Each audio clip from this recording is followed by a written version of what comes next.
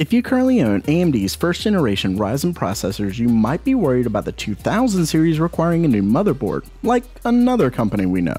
Well, don't fret, because it doesn't. In fact, you just need to update your BIOS. Kind of, but don't worry. I'm going to explain how, so stay tuned.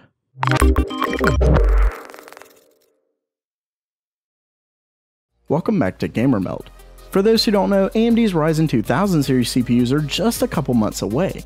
With it comes higher clocks, better power efficiency, and plenty more features thanks to the 12nm die shrink from Global Foundry.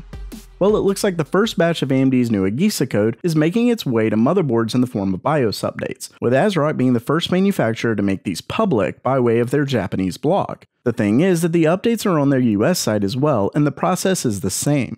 This update gives us some insight into the process for upgrading your current 1000 series PC to the new Ryzen 2000 series, same motherboard and all. Now, I can't guarantee every motherboard will have the exact same process, but I doubt the variation will be all that wide. With that said, if there is a very different process announced from another manufacturer, I'll make sure to update the description with it or pin a comment. So just look there as time goes on. When it ultimately comes to the process, it is a little different because it actually requires two BIOS updates that must be done in order. That's right, you've got to update to a new BIOS before you can add the BIOS that's actually compatible with the Ryzen 2000 series CPUs. ASRock calls it the bridge BIOS, and some think it's because the Ryzen 2000 BIOS is a complete rework, so this cleans it up a little. Of course, before I discuss how to do the BIOS updates, please remember that if an update is in process, when something happens like a power outage or it fails for whatever reason, you could potentially break your board, given you can't clear the CMOS, etc., and it voids your warranty. With that out of the way, the process is pretty straightforward, though the wording can be slightly different depending on the manufacturer. First, you're going to want a flash drive. It doesn't have to be big, but you'll need some kind of physical media. Next, head over to your motherboard manufacturer's website, whether it's ASUS, ASRock, MSI, etc., and find your exact AM4 motherboard. Then go to the Support tab. From here, find one of the newer BIOS updates that's called something along the lines of Bridge.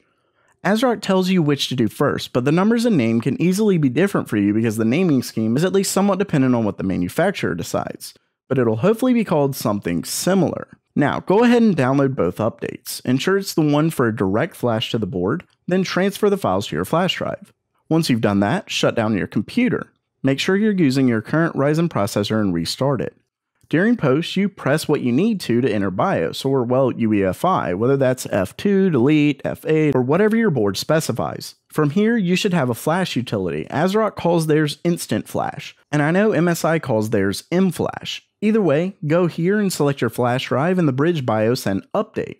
The PC should then restart and you repeat the process from earlier. This time picking the second BIOS update that makes your system fully Ryzen 2000 ready.